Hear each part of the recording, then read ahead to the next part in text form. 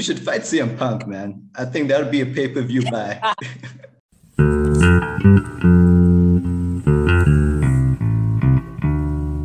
Percent of the revenue, the UFC they're making less than twenty. How crazy is that? Yeah, it's mad. I think like the UFC is like good in a way to like promote like you know like the fighters who like who can fight but they do not have the personality to sell themselves and that's why UFC yeah. is there to like if you were when you go to the UFC I know you're gonna like get big because you can talk the talk. I was checking, uh, you can talk the talk and walk the walk. I was checking you uh, being interviewed by CM Punk and he mispronounced your name. And you're like, that, that's like an iconic moment. You're like, say my name, Punk, say my name. yes, yo, you know what's funny? Everybody keeps talking about that now, man. And like, I just hope in years back, we look back on that moment like, I don't know if you watch pro wrestling, but I hope you look back on it like Stone Cold Steve Austin when he said his Austin 316 moment, man. Like, like get my name right and say it right, baby. Come on. Yeah, you know? like like I'm sure like Americans, like it must be hard for them to pronounce it. They also like pronouncing Ganu wrong. They like Naganu. We got the PH sound in in America. So the PH is actually sound sounded out with an F sound. Yeah. You know, in South Africa, in Africa, it's just a PH, just a P sound. You just roll right through it, baby. The H is silent. You know what I'm saying? so the amount of times I'm called Fumi on a daily basis is crazy. You know what I'm saying? But so that's why I just got to make it a point, man. Like, it's Turbo Phumi Nkuta. Say my name right, CM Punk. You know? Yeah, yeah. You should fight CM Punk, man. I think that would be a pay per view buy.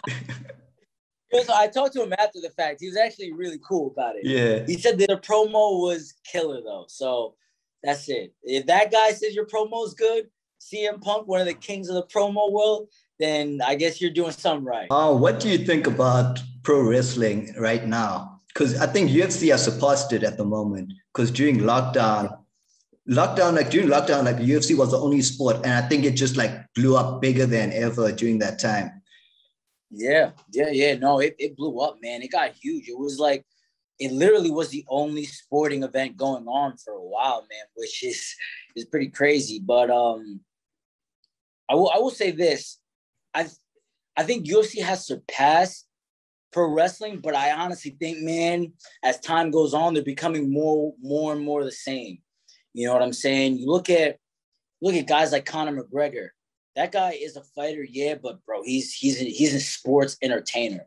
You know what I'm saying? Like yeah. that guy, he's there to scrap. He's there to make people want to watch him, right? Same thing with you know Nate Diaz. Now look at that guy. I mean, the guy lost essentially. What was it? A 25? He literally lost probably about 24 minutes of a 25 minute fight. Lands two punches and it's all anybody remembers is all anybody can talk about. And now he has his own persona going on. He had his own bmf belt. They made a whole pay-per-view for that guy. You know what i'm saying? There's a there's an entertainment aspect of this sport now that i think if you really want to reach the elite level if you want to get to that that point you know that conor mcgregor point or even just be a big star in general you might have to i'm not even saying you got to not be yourself. Obviously be yourself but put yourself out there, man. Don't be afraid to freaking be who you are and be flamboyant, be rim, you know, just be you. Be be a louder version of you, man. And and that's something I, I do. At the end of the day, there's there's times when I'm humble for sure. But man, I'll be the first one to tell you I'm one of the best in the world, baby. And I'm I'm one of the best guys holding this belt who've ever held this belt, and nobody's taking this belt from me. You know what I'm saying? Like at the end of the day, you can be humble, but still be able to tell the world how good you are. And and I think that's a little bit of the entertainment aspect that a lot of these MMA fighters are bringing from pro wrestling. You know, that's why you're starting to see, man, a lot of these guys now, like Diaz has his own thing with, you know, the smoking and all that kind yeah. of stuff. Conor has his own thing. You know what I'm saying? Like people, you know, even Jorge Masvidal, he had his own thing. And Street it's not like Jesus. these guys are, yeah, yeah. And it's not like these guys are being fake. Like you, you talk to Jorge Masvidal, was he always that guy behind the camera? Nah, but or was he always that guy on the camera? No.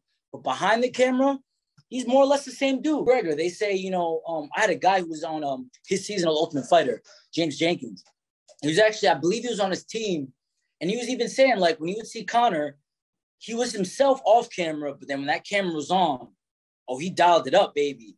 You know what I'm saying? He dialed it up. It's like same way I'm sure with all these guys, man. Like, it's all right to be humble. You can be yourself, but look, man, that camera comes on, it's on for a reason. You got to let the world know why you deserve to be on camera, why you deserve to have these moments, have this belt. You know what I'm saying? And um, yeah, man, I think uh, at this stage of the game, you know, the people who are doing that stuff, and I'm not even saying this is a good thing in this regard, but the people who are doing those things are really going to start getting the opportunities over the people who aren't. And that, and you know, you already kind of see that with guys like, like a guy like Conor McGregor and a guy like Frankie Edgar. A guy like Frankie Edgar deserved that 145 pound opportunity for a very long time. Why, you know, why did he get it late? Because there's a dude named Conor McGregor in the mix. You know what I'm saying? Who got hot shotted to the top. Wrestling, pro wrestling, and MMA are becoming one and the same. Whether it's a good thing or a bad thing, I guess time will tell. But these are the facts. Yeah, Colby Covington, he like did it best. Like he turned like WWE heel with the whole Trump that's supporter uh, kind of gimmick that he did. And like people absolutely like really hate him in real life because of that. And I think he just he's now making way more money than he was before. Not only way more money, but I mean, they want to give this guy a title opportunity off of one win against, you know, Tyron Woodley, who I think before that fight, what lost 10 rounds or something like that. Like, you know what I'm saying? So, look, man, at the end of the day, and I'm not even saying like, I'm saying don't not be yourself. Be yourself. You don't want to be like Kevin Lee, where you all of a sudden you start acting like some gangster all of a sudden, you know what I mean? And and it's like, whoa, where did that come from? You're not even playing the part right. You know what I mean? Be yourself. But look, man, you want these opportunities?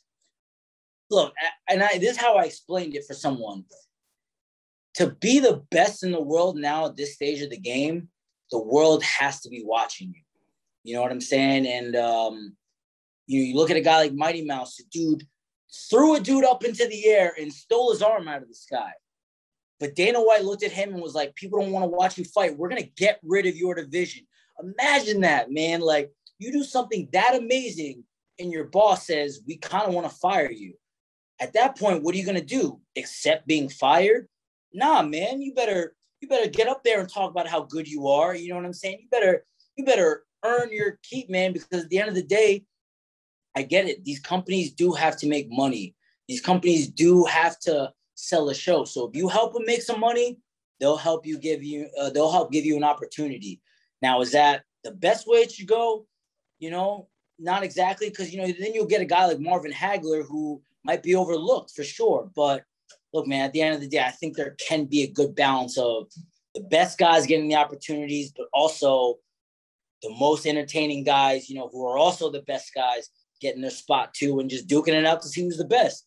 That's what the sport's for, man. Mano y. Put, see who's the best. If a guy's talking trash and he says he's that good, put him up against somebody and see if he's that good. If somebody's humble, put him up against a, a, a flamboyant, you know, talker and see if he can actually last in the in the in the mental warfare that is you know the the trash talking because i'll tell you what man say whatever you want about conor mcgregor getting hot shotted to the belt he broke jose aldo mentally you yeah. know what i'm saying he broke eddie as mentally you know what i'm saying so some degree this shit works